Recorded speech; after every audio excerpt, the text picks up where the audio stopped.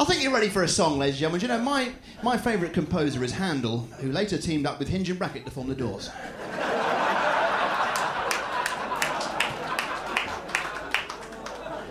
And I'm actually totally deaf, yeah, I never thought anyone would say so that.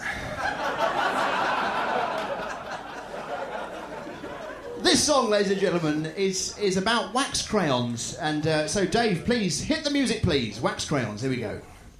Here we go. Down a bit, that's it. I'm not a wax crayon fan. I don't think they're easy to handle. When I've got one in my hand, it's like trying to write with a candle. Wax crayons. You can't draw tomatoes with the red one. Wax crayons. Never use the yellow one to sign a check. I'm not a wax crayon fan. I much prefer felt tips. When I chew a crayon, it gives me greasy lips. Wax crayons. No good for doing crosswords. Wax crayons. Never use one to draw a very thin line. Not a wax crayon fan, unless I use them for shading, or brass rubbing, or a fence post. In a guinea pig